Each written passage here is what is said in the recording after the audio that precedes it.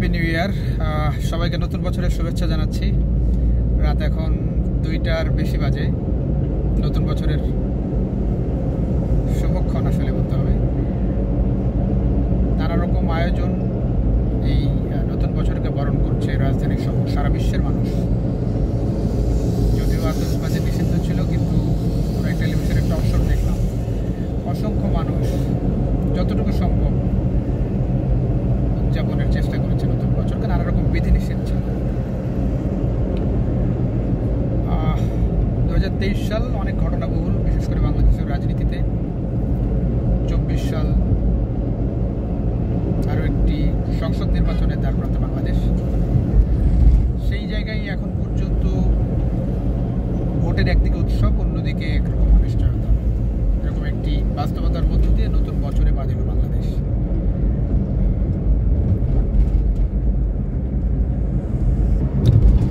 সবসময় নতুন বছর আসলে আমরা একটা কথা বলি যে পুরোনোকে ভুলে নতুনভাবে সব কিছু শুরু হোক। একরকম প্রত্যাশা আমারও থাকছে।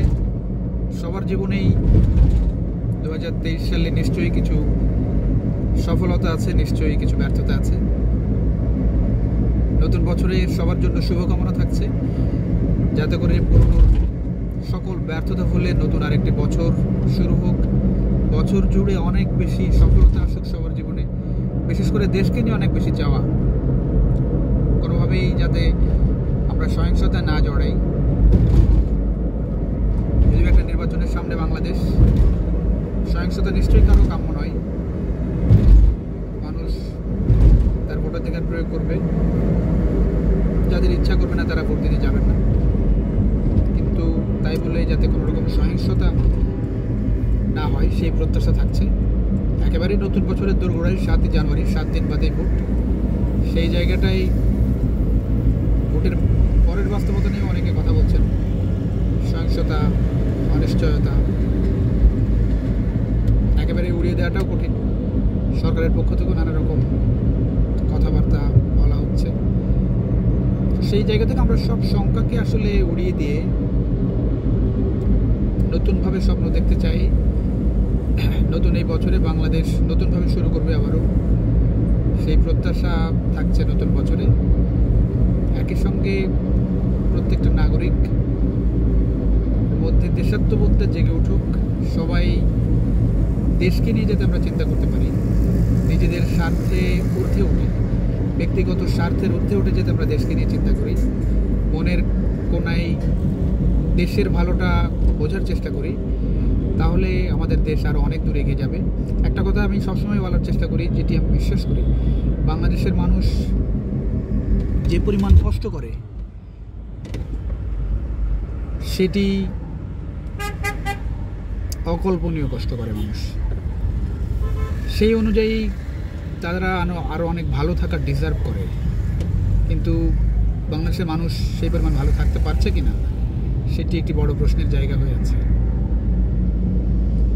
আশা করব নতুন বছরে এই সংকটটা কাটবে। মানুষ তার প্রাপ্য মূল্যায়ন পাবে, প্রাপ্য মজুরি পাবে। বিশেষ করে দ্রব্যমূল্যের জায়গা নিয়ে বলতে হয়, মানুষ বাজারে গেলে এখন আহতাশ। নতুন বছরে সেটি কাজবে বলে প্রত্যাশা থাকছে। যদিও সেটি অনেক বেশি চ্যালেঞ্জিং নতুন সরকারের জন্য আসলেই অনেক বেশি চ্যালেঞ্জিং হবে। যদিও সরকারের পক্ষ থেকে এরই মধ্যে বলা হয়েছে সরকারে যদি আওয়ামী লীগ আসে, তাহলে তারা দুর্নীতি প্রতিরোধে কাজ করবেন, দ্রব্যমূল্য নিয়ে কাজ করবেন।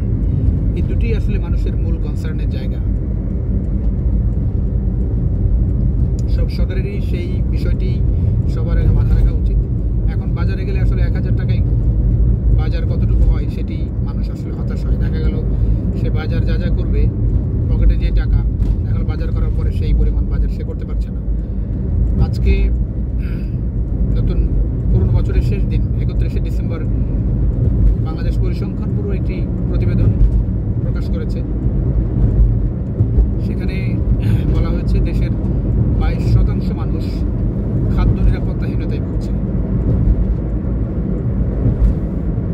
অর্থাৎ প্রতি পাঁচজনে একজন মানুষ খাদ্য নিরাপত্তাহীনতায় ভুগছে সবচেয়ে বেশি গ্রামের মানুষ। চব্বিশ শতাংশের বেশি গ্রামের মানুষ খাদ্য নিরাপত্তাহীনতায় ভুগছে। সবচেয়ে বেশি রংপুর বিভাগ এই সংকটে ভুগছে। এটা কোনোভাবেই কাম্য না। যখন আমরা উন্নত রাষ্ট্রের কথা চিন্তা করছি, সেই জায়গাটি এরকম একটি পরিসংখ্যান আসলে উদ্বেগজনক। আমরা আশা করি নতুন বছরে এসব সংকট কেটে যাবে। সম্ভাবনা, সেই সম্ভাবনা আরও বেশি সম্ভাবনায় হয়ে উঠবে এবং আমরা আশা করি মানুষ যে কষ্টটা করছে, চাকরির বাজার আরও অনেক বেশি কর্মক্ষেত্র তৈরি হবে নতুন বছরে সে প্রত্যাশা থাকছে বিশেষ করে পলিটিক্যাল সিনারিও বাংলাদেশের রাজনৈতিক বাস্তবতা যাতে স্থিতিশীল থাকে, সেই প্রত্যাশা যদিও সেটি অনেক বেশি চ্যালেঞ্জিং হবে নতুন বছরে তেমনটাই ধারণা দিচ্ছে আহ, যারা পলিটিশিয়ানস একই সঙ্গে যারা রাজনীতি বিশ্লেষক তারপরে শুভকামনা শুভকামনা জানাতে তো বাধা নেই। আমরা নিশ্চয়ই ভালো কিছু আশা করতে চাই।